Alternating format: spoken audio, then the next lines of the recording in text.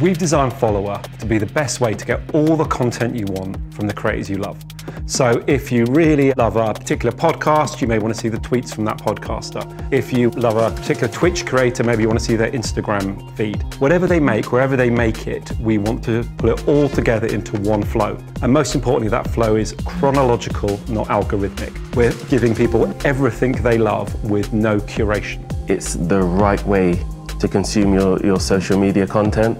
So it's a, it's a great aggregate that pulls in all of the content from all your, your favorite content creators into one place, into one stream. We imagine our user journey will be a user arrives because they dig a single creator and they come through a single channel. I like this person on Twitter. They arrive and they'll see the tweets. But then they will also see the other content created. Hopefully they'll think it's pretty neat and then they'll click the button to sign in. And if they sign in using their Twitter account, their Spotify account, their YouTube account, their Goodreads account, their Instagram account, we'll pull the creators they follow and all the stuff they make. When somebody comes to it, we want them to be able to understand how to use Follower from the very beginning. There is no learning curve. There is no hiding stuff behind a sign in or a click through. They get all the information and that was really important in the way that we design it is that when they arrive there, they know exactly how to use it. Bristol and Bath R&D and the Amplified Publishing Programme has been invaluable in this.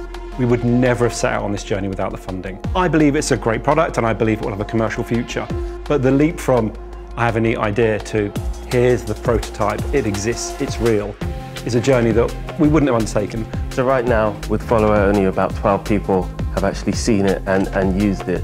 And so we're gearing up to have a private alpha where we're pushing out to around 100 people who can actually get their hands on it, use it, and we're hoping to get a lot of interactive data back from that, so then we can reapply that into our design and redevelop where we need to.